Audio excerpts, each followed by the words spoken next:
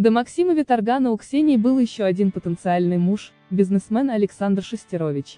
Молодые люди встречались год, а потом объявили о помолвке. Свадьбу планировали играть на широкую ногу, платье от Юдашкина, яхта, дворец в Стрельне.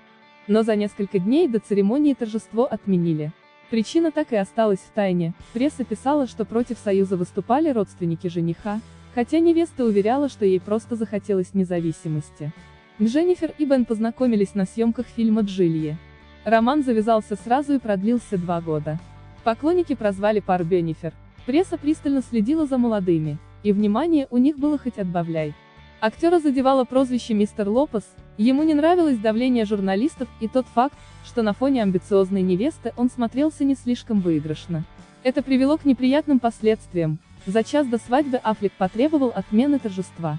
Роман пары продлился еще несколько месяцев, пока Бен не ушел к другой, актрисе Дженнифер Гарнер. Спустя много лет Дженнифер поделилась в мемуарах, что уход возлюбленного стал для нее большим ударом, когда Бен предложил мне расстаться, не выдержав давления прессы и фанатов, я почувствовала себя так, будто мое сердце вырвали из груди. Восторгу поклонниц «Сумерек» не было конца и края, когда стало известно о романе героев саги в реальной жизни. Сплетники обсуждали, где и когда пройдет помолвка, даже делали ставки.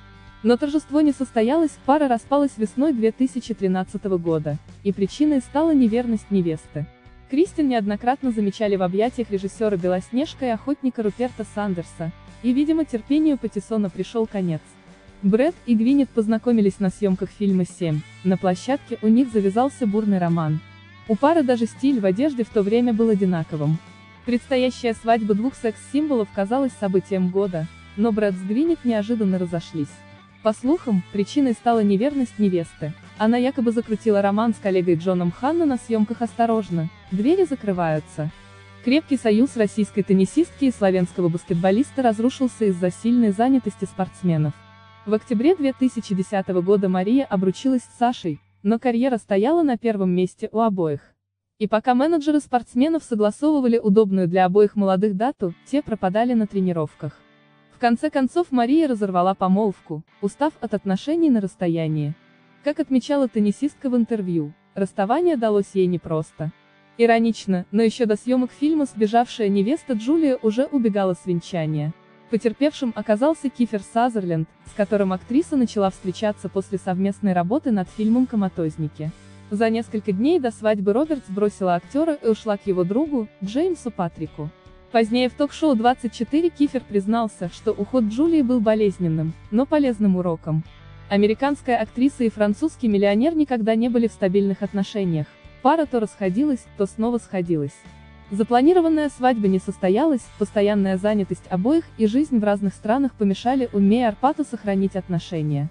Ситуацию не спасло даже рождение дочери Розалинды, Ума все равно существовала в режиме бешеного рабочего графика.